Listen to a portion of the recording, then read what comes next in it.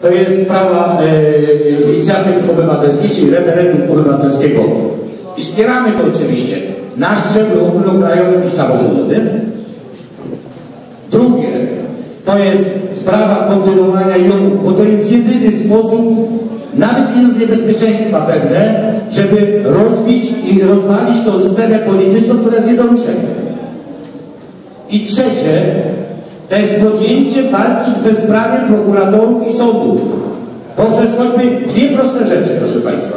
Poprzez uspołecznienie wymiaru sprawiedliwości, na przykład udział organizacji pozarządowych y, we wszelkich stadiach postępowania organizacje społeczne sprawę zadawania pytań, sprawę yy, yy, składania wniosków po to, żeby obywatel, tak, który nie ma pieniędzy i nie stać no, nie ma po to, żeby wydać adwokata, który go niejednokrotnie sprzeda, żeby się czuł, że jest organizacją społeczną na sali.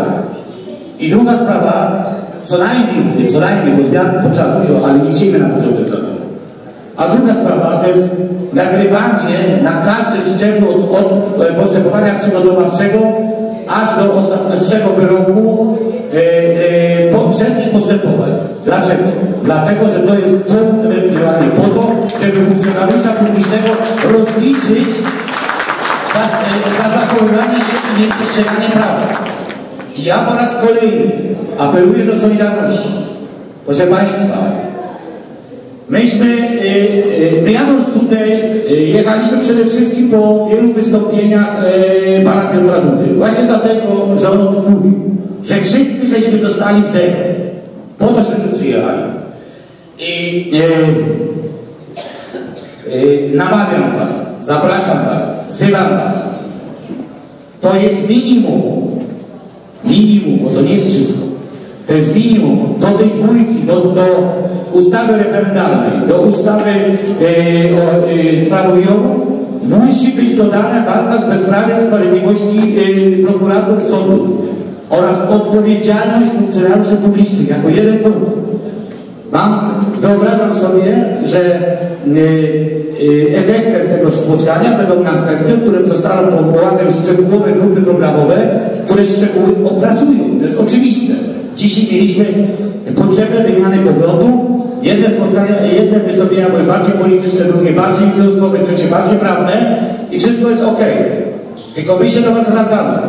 Zwracamy się do Solidarności, do tej prawdziwej Solidarności. Wejście na swoje sztandary walka z bezprawem prokurator i sądu.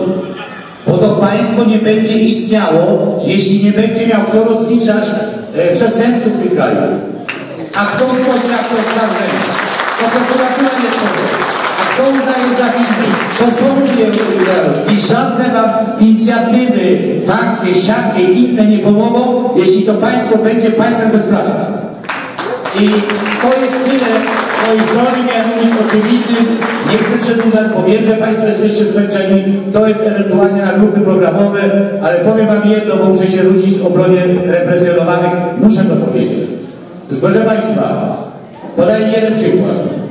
Osoba, e, która była półtora roku bodajże internowana, dostała jako odszkodowanie za stan wojenny, a jeszcze wyszła jako inwalida, 7,5 tysiąca złotych badanie biegłego lekarza e, obecnie, specjalisty, który trwał 15 minut, sąd mu płaci 7 tysięcy złotych.